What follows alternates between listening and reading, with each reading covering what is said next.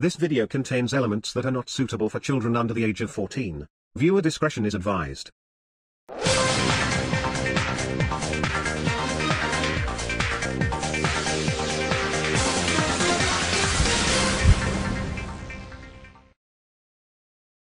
Three down, one more to go, then we're finally out of the nitrogen era. I can't wait to get to the Brenner era just to wash the taste from my mouth. For a celebratory year, 2011 was rather underwhelming. As mentioned previously, Series 15 was terrible, and Day of the Diesels just came off as overhyped in retrospect. At first it was well received with the rhyming and alliteration cut down, making Diesel 10 a real menace once again after a pretty underwhelming portrayal in Calling All Engines, but now most of the fandom despises it, with some people like myself ranking it as even worse than Misty Island Rescue. And as for the final book in the Railway series, Thomas and His Friends, it was pretty much recycled material. Thomas and the Swan was simply a retelling of an annual story from 1992, with an introduction featuring Pip and Emma becoming the new express engines to London that kind of went nowhere. We didn't get to see much of how Gordon reacted to this change. That could have been an interesting book in and of itself. Gordon did get a story to himself, however, with Gordon's Fire Service, probably the best of the book, and even mentioning the Peel Godred branch line for the first, and sadly only time. It may have been a rewrite to one of the stories in the Thomas Noisy book, but I could be wrong. Buffer bashing, however, was simply the worst story, probably the entire Railway series, being the middle engine of Awdry's writing with no resolution. Centenary was just a rewrite of Golden Jubilee, and probably even more underwhelming. So all in all, Thomas and his friends did not live up to its hype either, ending the Railway series on a very weak note. Now with Christopher in his early 80s and the fact that he has no plans to continue, we may never get the stories he wanted to tell but couldn't. Alas, poor Barry, we could have known him, Christopher. But was it all bad news for 2011? Not really. Greg Tiernan informed the Sodor Island forums about some changes ahead, such as Sharon Miller stepping down from head writer and later being superseded by Andrew Brenner, who was then working on the CGI incarnation of Fireman Sam, beginning with Series 17 to air in 2013, which we'll cover next time. This promised a return to the quality storytelling and abandoning the Three Strikes formula altogether from Series 9 to 15. Brenner would also be joined by producer Ian McHugh, who had arrived during the production of Day of the Diesels, as well as Series 15 and 16, and he would keep that mantle all the way up to Series 24, being a creative executive producer for Series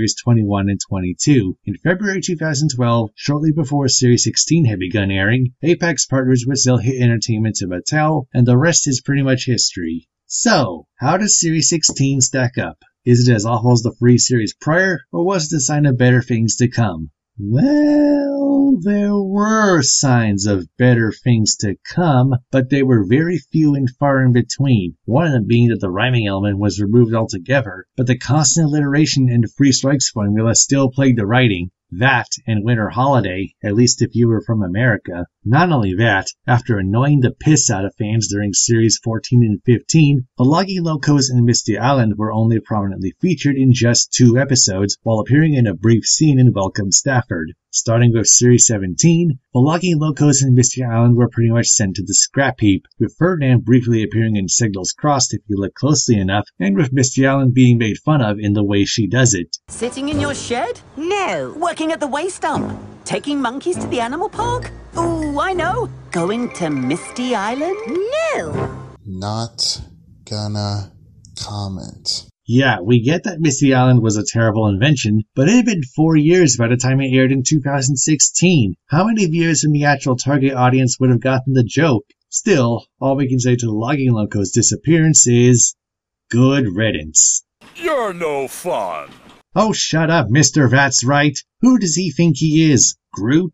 Anyway, for all the badness that Series 16 endured, much like the free series prior, it did have some good episodes, one of them being Express Coming Through, where, for once, it felt like Thomas and Gordon were in character. They even did a callback to Thomas's train. Flashbang Wallop even featured a picture of a Garratt locomotive, which had been Greg Tiernan's desire to include at some point, although one of them did eventually appear in full CGI in the form of Nia's friend Kwaku from Big World Big Adventures. Welcome Stafford wasn't too bad either, with the battery-powered electric engine having a wonderful voice provided by Keith Wickham, and with some dialogue that felt a bit more natural and, at times, funny. I feel like Stafford could have done more with the right idea for the character they've given him, but the most noteworthy episode of this series was Percy and the Calliope. In which the Free Strikes formula was implemented alongside the moral about not giving up, showing that it could work if handled properly. And of course, the ending. But then, with a cough and a splutter, it began to play. Percy beamed from buffer to buffer. I don't think I could really explain how happy I was when I first heard it. It really did feel like better things to come.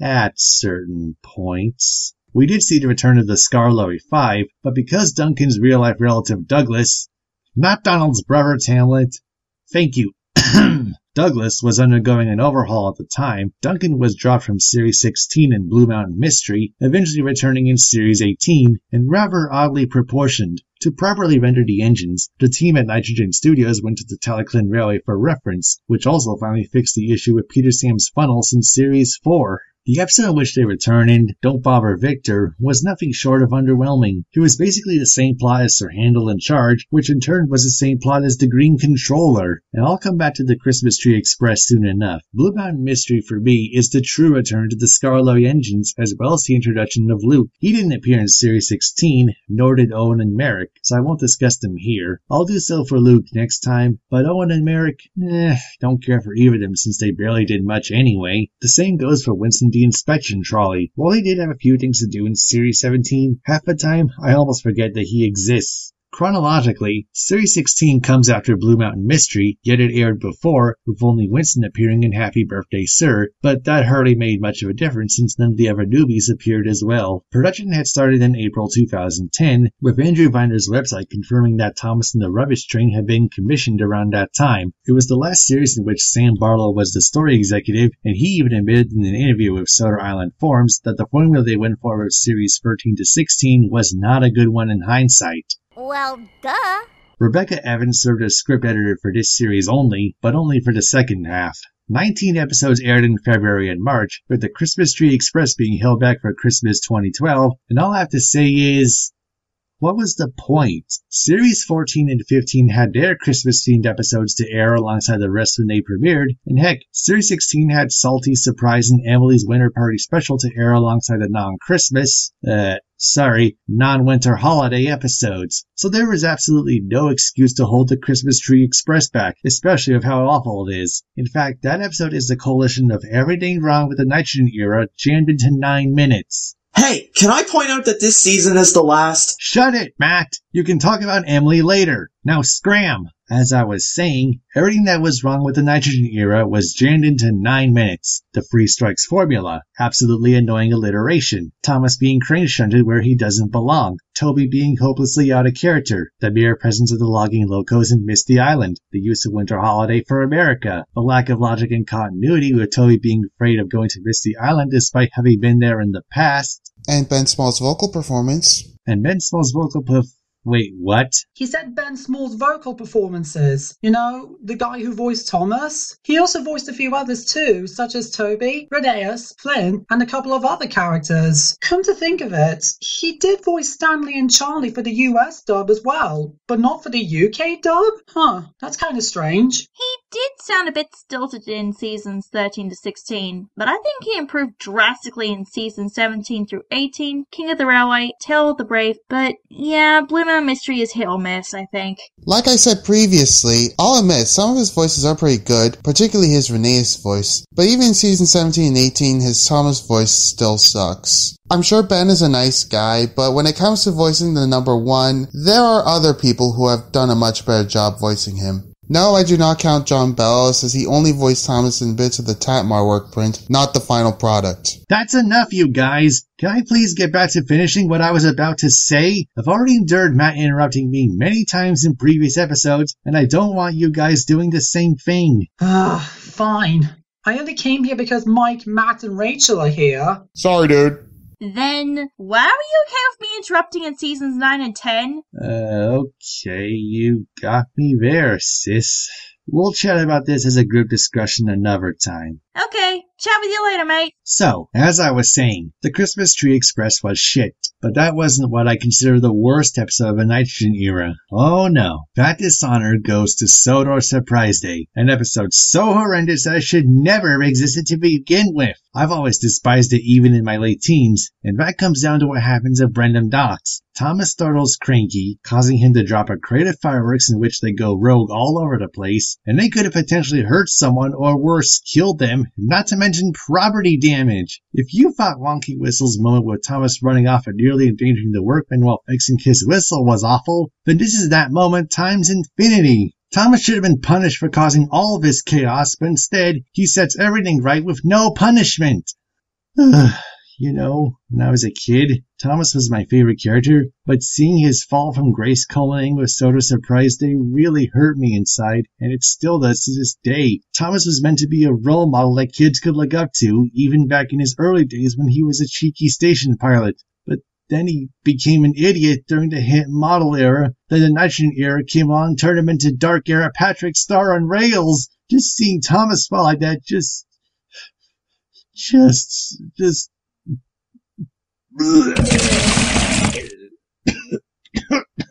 Oh. Sorry about that. I, I just don't know what else to say. Other than Series 16 sucks like the free series prior. Let's just finish this damn episode already. I did not enjoy revisiting the Nitrogen era in the slightest. Series 14 was the least bad season of a lot, but only by default. And while I do have Series 14 ranked as the worst of the entire show, it, along with 15 and 16, could be placed in any order because all three of them are the bottom of the barrel for Thomas and friends. Sure, there are gems here and there, and I'll get to that in a bit, but are they worth the fiery flames and Sodor surprise days? No, absolutely not. I'd recommend skipping this era altogether. You're not missing a whole lot, believe me. If I never have to sit through almost 12 hours worth of garbage like that ever again, I can die happy. So what do I think are the least awful episodes of the Nitrogen era? Let's find out. Number 10, Victor Says Yes. Number 9, Welcome Stafford. Number 8, Flashbang Wallop. Number 7, Steamy Sodor. Number 6, Snow Tracks. Number 5, Being Percy. Number 4, Express Coming Through. Number 3, A Blooming Mess. Number 2, Percy and the Calliope. And number 1, Tickled Pink.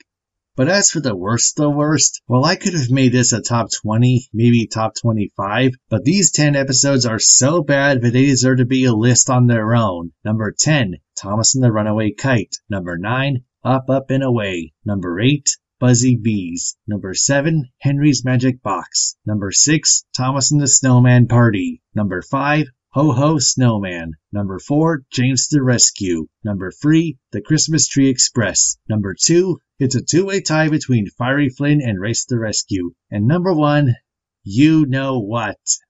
Ugh, thank Godry this is over. Now I can finally relieve myself from all this madness. Uh, Zack? Where are you going? yes. Boy, the nitrogen era really did a number on you, didn't it?